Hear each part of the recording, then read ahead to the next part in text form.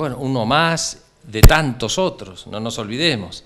Han, atrapado choferes eh, municipales con droga, no una vez sino varias, eh, patrulleros haciendo mudanzas, eh, ambulancias también haciendo mudanzas.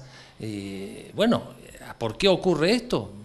A mí no se me ocurre pensar en otra cosa que hay una falta de autoridad, hay un Estado ausente, un gobierno ausente que no le recuerda al personal que se tiene que regir por las normas, por las leyes, y nadie las hace cumplir.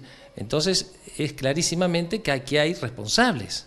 Este chofer, por supuesto, tendrá que pagar por lo que ha hecho y por supuesto con el cargo, porque hay muchos miles de salteños que quisiesen estar en el lugar de ese empleado y ese empleado que ha hecho eso no se merece estar en el Estado cobrando un sueldo de todos nosotros. O sea que ojalá que ya lo hayan exonerado del empleo. Y por otro lado, ¿quién es el responsable? El responsable es la ministra. ¿Debería renunciar la ministra? Eh, yo creo que hace rato debió haber renunciado. Y si no renunció, debiéramos tener ese gobernador que debiera estar presente pidiéndole la renuncia.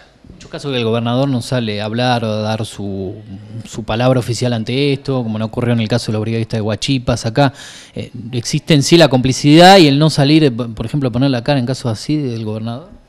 Bueno, esto ha sido siempre así desde que está eh, este gobierno y está muy mal, está muy mal porque el responsable máximo tiene que poner la cara, tiene que decir qué es lo que está pasando aquí.